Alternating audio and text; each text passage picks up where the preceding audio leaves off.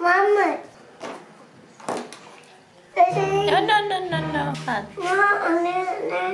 Hi everyone, welcome back to my channel.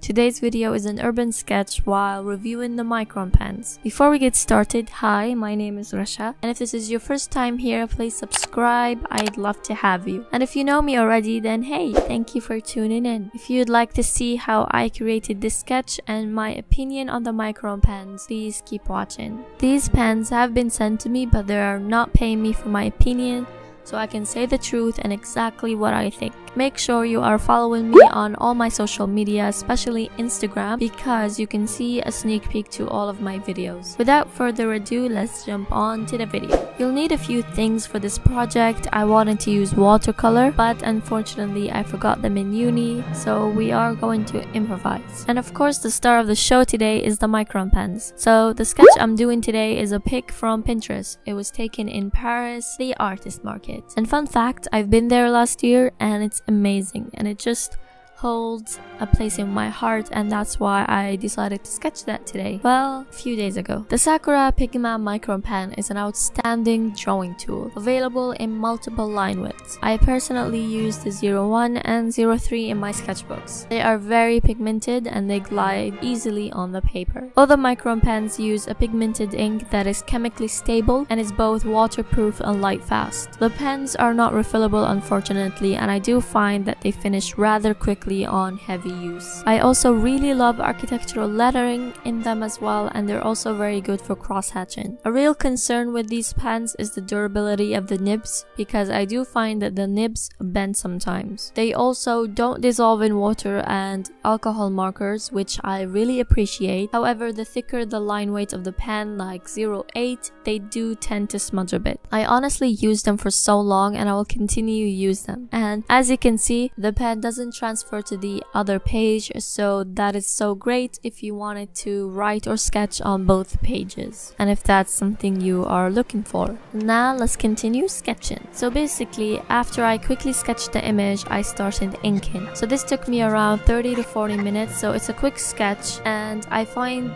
these pens work well with quick sketches as well as detailed and technical drawings. You start with thinner pens and you work your way up to thicker pens to add line weight and depth of field. You also use the thinnest pens for textures and patterns. And I'm still practicing drawing human figures, so don't come at me in the comments.